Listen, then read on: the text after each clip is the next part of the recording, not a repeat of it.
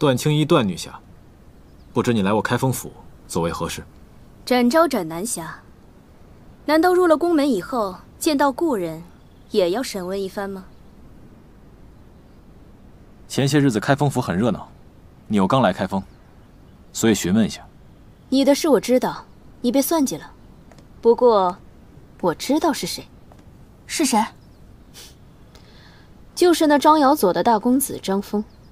果然。那不知展大人今日是与何人在此相约啊？展大人约的人是我。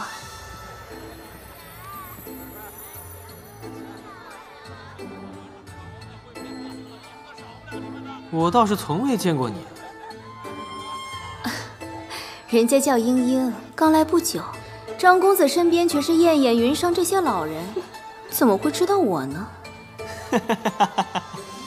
好你个小妖精，才刚刚来几天，就得到了展大人的垂青。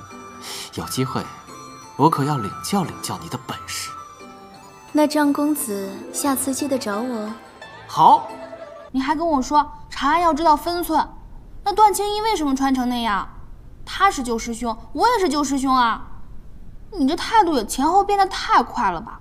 你跟他不一样，我那是担心你。我才不相信呢！你是喝醉了才这么说的。小七，我没骗你。那谭章不仅仅是段青衣的师兄，更是他的相公。咱妹妹长大了，你好好照顾自己。啊，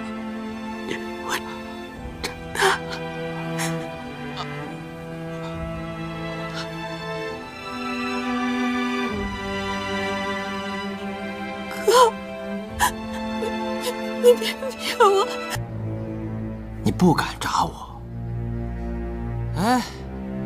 久闻开封府有著名的御铡三道，啊，大人，如果你真要铡我，那也得是那个虎头铡才行。张峰，你真的以为本府不敢铡你？来人，上狗头铡！真铡呀？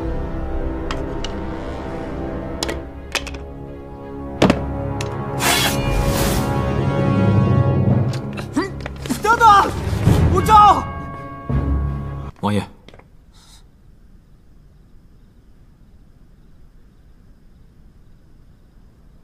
呃，那丫头，你早点休息，我先走了。展大哥，看你晚上没吃饭，给你煮了碗面。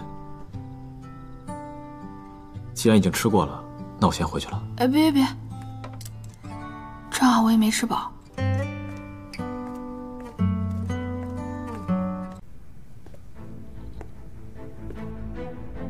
开封府接旨。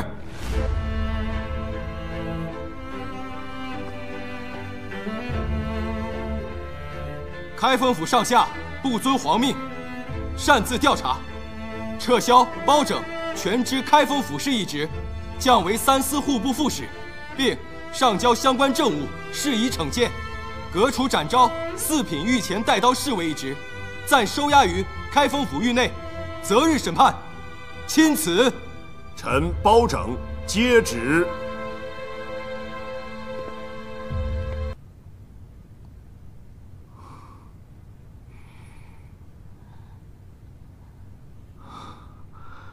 对了，圣旨没有问题，你别太难过。展大哥，你不觉得我们永远比别人晚一步吗？白宝镇死了，我们去查白宝镇；张峰死了，我们无路可走。这宫门规矩永远让我们比别人晚一步。小七，宫门规矩不是比别人慢一步，是让我们有理有据。有理有据有什么用？当时张峰被抓的时候，就应该一刀把他给杀了，也不会有那么多人死。小七，认得出来吗？当时离得太远，只记得他们的武功招式。不过不难。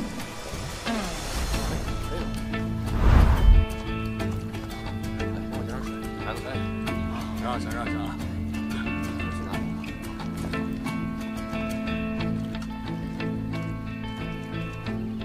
真的剑仙石在我这儿你们拿的是假的。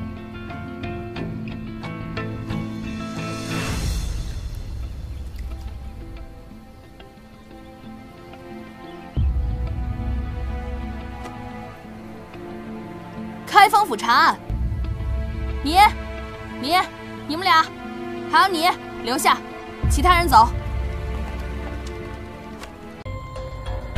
方才有什么收获？还是去晚了一步。没事。这么大一笔赃款，想要运出京城，应该不是一件容易的事儿。不过这个张峰，我看不简单。我看到张峰的身形与青袍人相似，可试了一下，却发现他没有内力。说不定他是装的呢。想什么也没用，必须回去。二哥，你看我这身上的伤才刚好。哦，没好呢还。再说了，今天可是中秋节。嗯，我们再晚一天再走吧。哎，就一天。最起码跟开封府的人道个别再走啊。明日一早启程，不许再找借口。二哥，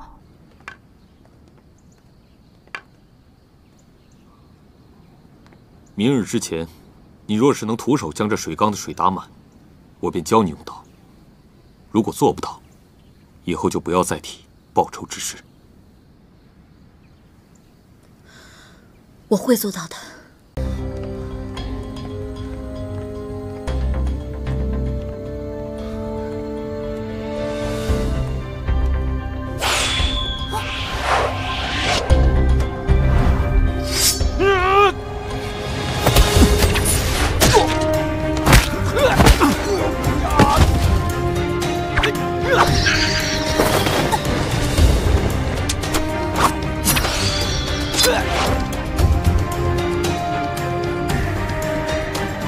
没事吧？没事。走。展大哥，你是在等我吗？嗯。哦，我刚刚有事耽误了，所以才迟到的。我知道。啊，走吧，去现场。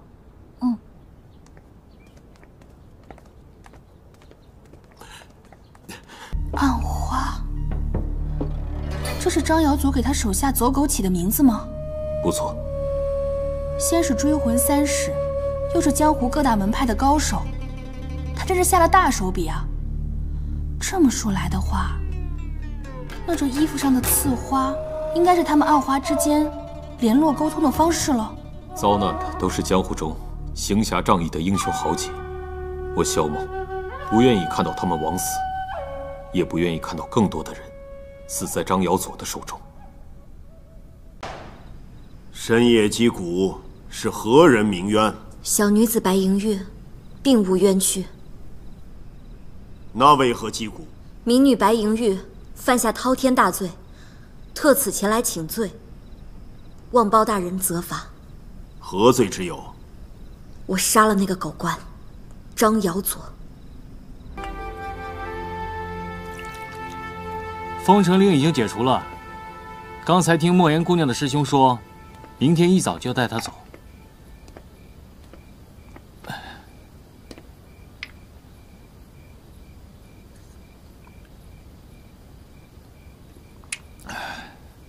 舍得吗？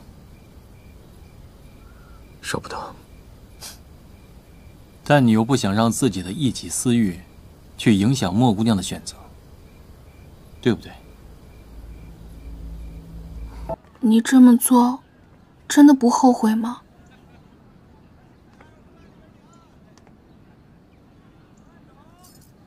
傻丫头，这是我心甘情愿。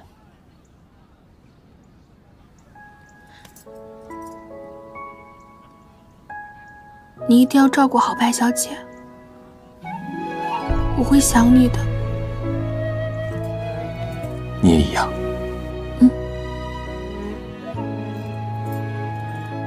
展昭，在，照顾好莫言，否则我定不饶你。生死相护。展大人，时辰到了，二位该启程了。